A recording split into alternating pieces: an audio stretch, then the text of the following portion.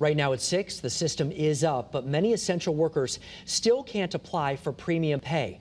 This is a new state program to give bonuses to those who had work during the pandemic and those in the private sector. But the website crashed and is causing lots of frustration. Chief political reporter Susan Raff is on the answer desk with answers to some of those issues for us. Susan. Stephanie, the site went up last week, and since then, Channel 3 has been flooded with emails. Many of you are having problems uploading documents and even just logging onto the website. We wanted to get some more answers. So this is the website. Yep, and um, so you just apply for payment and begin the application now.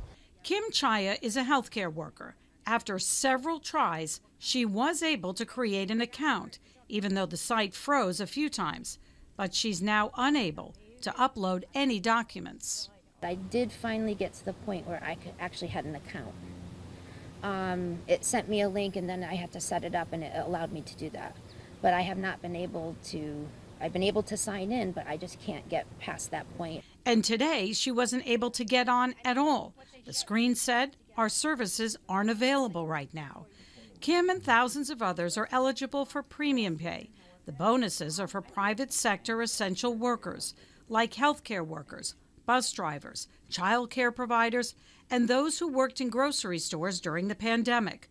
We heard from Lori, who says when she tries to upload documents, they don't attach. The response from the Connecticut Office of the State Comptroller the program is not first come, first serve, and that eligible workers have until October 1st. Daniel Golden is also having trouble uploading files and says he can't get anyone to answer phone calls or emails.